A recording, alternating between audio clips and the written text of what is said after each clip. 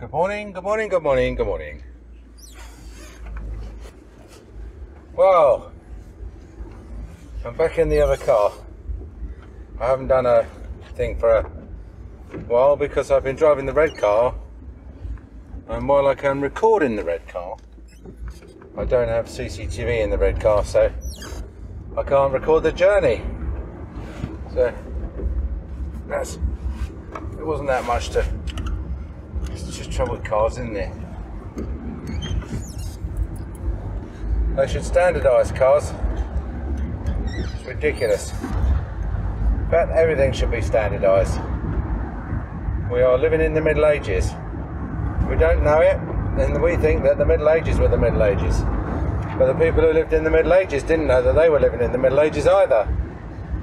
So we are living in the Middle Ages, a time of warfare, strife, petty dictators, famine, the Middle Ages. So, and we're still going to be in the Middle Ages when you die. So, don't think that uh, all of a sudden we're going to move to some sort of enlightenment because we're not. Not, not in the near future, anyway. We might do if we go on a global currency standard. Then we might move into an enlightenment. I think that's our best bet. Now, angry, you might say, how on earth is that going to work? Well, the answer is that at the moment, every country, for the most part, prints their own money and they spend, and they spend on two things usually getting re elected, which involves a ton of vanity projects and uh, giving money away to potential electors and uh, fighting foreign wars, which are for the most part pointless and always extremely highly expensive. So, what happens is the uh, central bank then buys the government debt, which allows the treasury to print more money, and uh, so as a result, population pays for it either directly through tax or indirectly through loss of purchasing power because of the increased amount of money chasing the same amount of goods and services. So that's economics in a nutshell, right? If you just get the grasp of what I've told you between the last village and this village, then really you understand economics. So what, how does that link into a new enlightenment, you might ask? Well, supposing the government couldn't debase the currency, supposing the government couldn't print loads and loads of new banknotes whenever it wanted to bribe the electorate or fight a new foreign war, then what would happen is they'd have to go back to the population and say, look, we want to, you know, fight a war in Yemen, cause mass starvation, kill thousands of children, bomb a few wedding parties, uh, can we uh, can we put income tax up, or can we put your national insurance up? And the population would quite rightly say no. So having what we call a hard money, one that's not that's impossible to debate, one that the government can't just conjure out of thin air, puts a stop to a lot of the th- all the, the, things that are wrong with the world.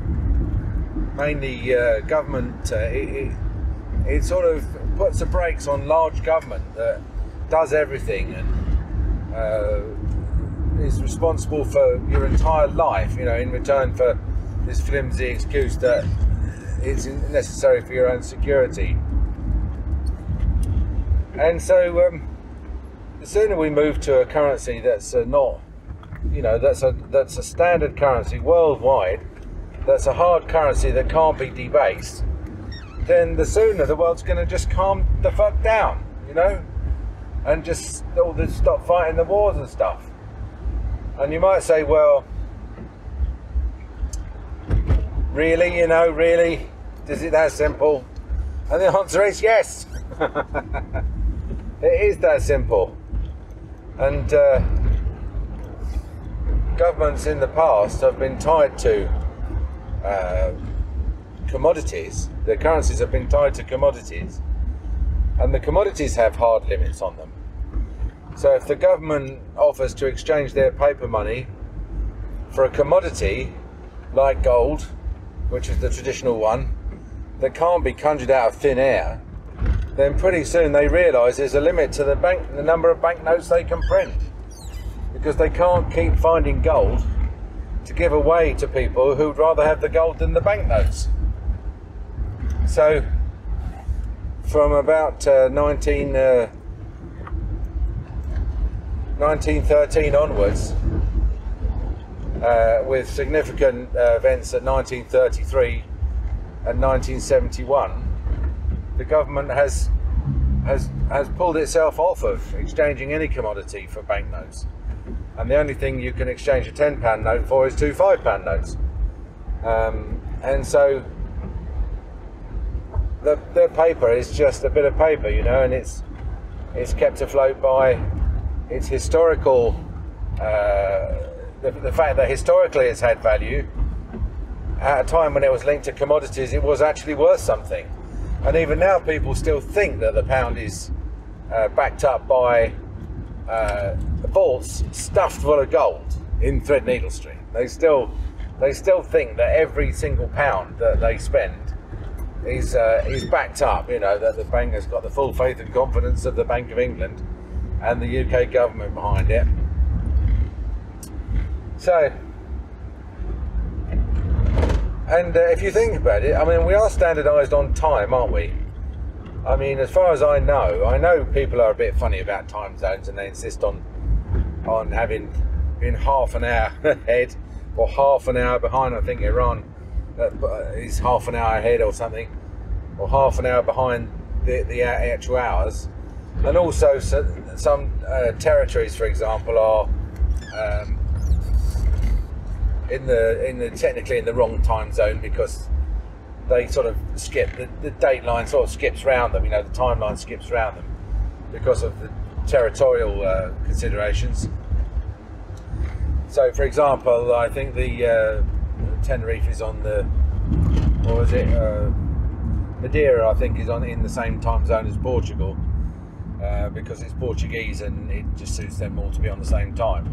And seeing as they're in the middle of the uh, the ocean, uh, Madeira, then uh, it doesn't actually make an awful lot of difference to them because they still. Uh, I mean, they might get up a bit earlier. I mean, they might be a bit lighter in the morning and a bit darker in the evening for them, for example, um, or, or, the other way round. But uh, you know, it's not a big deal, is it? I mean, when it's if you want to get up when it's light, you get up when it's light. You don't care what time it is. Oh, so turn the heating up a bit because we've had a lot of snow. Actually, you might see a bit of it still, but that's the reason why I was in the red car because uh, red car's four-wheel drive and uh, much better in the snow. This one, not so good. Um, turn the blowers on for a second, get the windscreen defrosted. Uh, so this car hasn't been used for a while, so it's a bit wet uh, you know, humid internally, so it needs a good dry out. But you might still see a bit of snow here and there. You might have seen a bit of snow. But it'll all be gone. But in an hour or two, it'll all be gone. It's going up, I think, to 14 degrees. There's a bit on the verges here and there. So if we're coordinated on time, we all use hours, minutes, and seconds, right? Because the world, the world, I mean, basically that is the currency of the rotation, isn't it? The the uh, 15 degrees an hour. So it's like, um, I suppose, we don't all have to use the same currency, but it would be it would be so much better if we did and it would be so much better if it was a hard currency. And the governments, of course, will, will never agree to this because um, they've all got their individual economic policies, for example. And we're finding this, you know, even within the European Union, where the policy for Germany and the policy for Portugal and Spain and Greece and Italy uh, don't really align all that well. And uh, the policy for uh, I don't know New York or wherever doesn't really align with that of uh, Tennessee in the United States. Although they do have a, a the federal budget is much more geared up to subsidise the poorer states, whereas in European Union the German uh, the Teutonic uh, inclination is not to subsidise the poorer countries, but to tell them to pull their socks up and uh, and be more German. uh, anyway, so yeah, so that's why we'll we'll never really have like a government. Although the Bank of International Settlements is uh, working hard to try and do something along those lines uh, and, and, have, but not really for um, the population. You know, the citizens. Uh, the Bank of International Settlements is the sort of the central bankers' bank, and uh, they're more interested in uh, special drawing rights, for example, which are a, a, currency that the banks, the central banks, use to sort of uh, between themselves. You know, when one central bank gets into trouble, then the others create a few special drawing rights and uh, and bail them out, and then then that money is then dissolved when it's no longer needed. Um, but there is also a movement towards making, allowing um, citizens to have accounts at the central banks and to uh, do away with the commercial banks to a large extent. So, uh, for example, I mean, if the Bank of England, if the base rate was, uh, I don't know, 0%, and you go along to your commercial bank and you say, I'd like to borrow some money, and they say, yeah, well, uh, three percent, and you're like, well, how can it be three percent? You're borrowing it from the Bank of England zero percent. How come you're charging me three? And they were like, oh well, that's you know that's the cheapest we lend out at because there's a chance you won't pay it back, I suppose, and and uh, you know we'll be plus you know we've got all these buildings, we've got all these staff, we've got our pension plan to think of and everything, and so um, people like me have long thought, why can't I just have, why can't I walk into Threadneedle Street and just say, I'd like to open up a bank account, please, with the central bank and do some borrowing at 0%?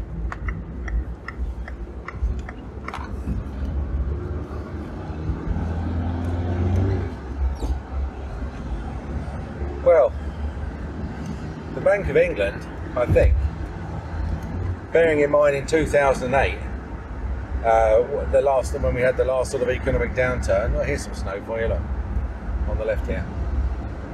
When we had the last economic downturn, and what happened was that um, the government printed a load of money and then uh, gave it to the banks and said, "Look, lend it out," and the, and they, the banks didn't lend it out. The banks said, "Actually, we're going to uh, we've, we've got a better use for that money. We'll put it in our reserves." so that you don't uh, you don't criticise us next time that we're insufficiently capitalised and, and, might need a bailout. And uh, also, we quite like to buy a load of our own stocks and shares back uh, so that the price of the shares goes up because our salaries are rather dependent on increasing the stock price. And uh, rather than do anything uh, positive or innovative or productive to make the shares go up, we would rather just buy them back, which will have the same effect. And uh, happy days, uh, Krug, uh, champagne, and Cristal all round, you know. So the government, I think the economists at the government said, look, we can't make the mistake of giving all this money to the banks again. Uh, we need to give it to Joe Schmo and the public. Hence the. Uh, but even then, they haven't really given it away. I mean, they gave us. I think they gave us ten thousand pounds at the beginning, about a year ago. But then after that, it's all been loans. And, uh, you know, you have to, well, if you've been in business for a while, you have to think hard about taking on a loan. You know, you, you really, uh, loans are not free money, loans have to be paid back. And what you're doing is you're saying, uh, and quite a lot of people do say this, I haven't got the money to pay for X, Y, and Z now, but I think I will probably have the money to pay for X, Y, and Z in the future. So what you do is you take out a loan to buy X, Y, and Z in the expectation that you will be able to pay pay for it at some point. And, um, and the unfortunate reality is that if you don't have the money to pay for X, Y, Z now, the chances are you probably won't have the money to pay for it next week, next month, or next year either. And that the best thing to do is not to buy X, Y, Z. And uh, I have to, uh, have to sort of think about this when I'm offering finance for dentistry because, um, you know, I mean, I'm all for uh, taking out finance when it's smart. Uh, and you know, and uh, for example, if you're refinancing, if you're paying, if you've got a thirty thousand loan outstanding, and the repayments are crippling you, it might make sense to finance it over a longer period, which is what we did. Or if you're uh, borrowing at six percent, it might make sense to refinance at three percent. You know, for example, with a mortgage or something. So, but uh, at the end of the day, you know, when I wouldn't ever talk a patient into taking out finance because uh, usually not having that means that they don't have the money now and they have even less money in the future because they've got these uh, crippling rates of interest to pay. That's why we only offer zero percent finance. We literally only offer zero percent finance. Um, I'm not, you know, if someone uh, wants to take out a loan for their teeth on their credit card, then that's up to them. But I certainly wouldn't recommend that they did it. Even though at the end of the day, know a lot of dentists would, I know that, you know, because at the end of the day, you're the beneficiary, aren't you? You're going to get 10 grand or whatever, five grand's worth of work, you, you trouser the money. But then I don't know, I, I don't know whether it's just me. I'm obviously ill suited to be a dentist because I would not sleep that night knowing that that person is going to be living on baked beans or having to sell their house and live in their mother's basement because I burdened them with a, a debt due to some bloody greedy bank rentier. So let's standardise, let's standardise. Let's standardise all the currency, let's standardise all the units. I'm not particularly attached to the mile. Personally, I think the mile is a. I understand. I was brought up with miles and yards and furlongs and things like that. I can understand why we use a unit that you know is based on how much land is necessary 400 years ago to support one man and his family. Uh, you know, acres and all that. But um, apparently people prefer decimal because uh, obviously we use decimal uh, number system and so moving a decimal point is much easier uh, when you're calculating things so you know fingers and toes win over quarts and uh, gallons so let's get on with that and then we can start thinking about all driving on the same side of the road that'll be a bit. I mean, that'll be a. Mean, that would be a big problem because a lot of infrastructure would have to be redesigned. That's interesting. I don't know. I mean, would could Spaghetti Junction be repurposed for people to drive on the right? I would think that if they, when they come off it, if they're going onto a road where they're expected to drive on the right, it probably could. It's only a case of uh, reversing the flows, isn't it, on all the on all the roads? Um, you might end up with a instead of a, a, small road going into a big road, a big road going into a small road. So there would be a bit of it. And then um, the railways, for example, on the continent, the trains drive on the right.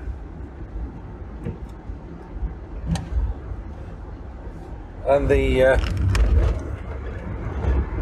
on the UK, the trains drive on the left and that that would be a massive problem because um, all the signals are on the relevant side. So, uh, for example, all the signals uh, facing you as you drive on the left in a train on the left, and if you were to drive on the right, you couldn't use the signals on the right because they'd all be facing the wrong way. They'd be facing, they're all facing away from you.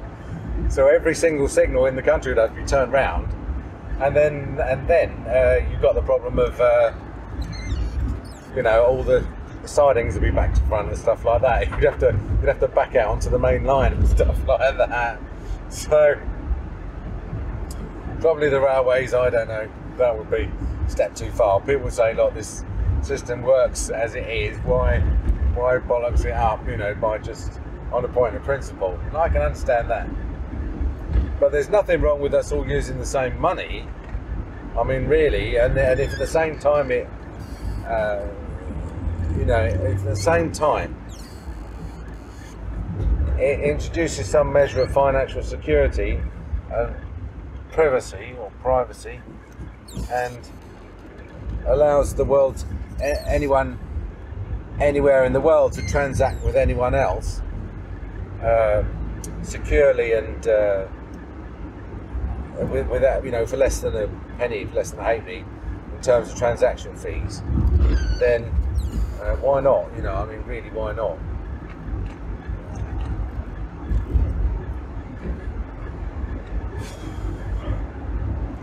And the side effect of that would be that the government would be, ineffectively, would be deprived of revenue.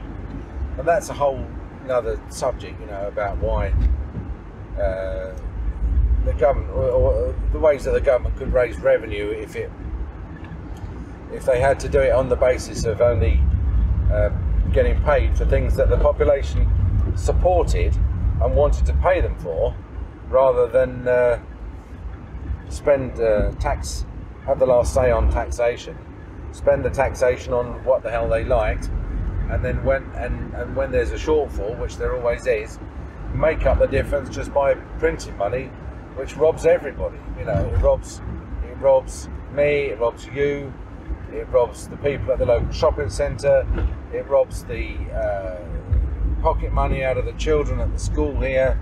Uh, all, all of us lose purchasing power to pay for, um, you know, the Eat Out to Help Out scheme or whatever, just whatever. I know. See, look at this ice, isn't that terrible? Well, I mean, it's not terrible, I mean, this this is a classic case of council doesn't want to grit down here because it only leads to the school, and the school won't grit down here because technically their responsibility ends at these gates. So that's uh, that is a classic case of two public bodies uh, and uh, a task that needs doing falling falling between the gap of the turn. Anyway, it's raining now and it's expected to rain all morning, so that'll be the end of the snow. So, but I thought I'd come in this car today because it's reasonably safe to drive and uh, we've got a camera, which hopefully, if it's working, will uh, give you an idea of the snow that we've had. Plus, I might upload a few pictures of the snow anyway, just so you can see how jolly it looks. I love the snow. All right. Okay. Nice to talk to you. See you again. Bye.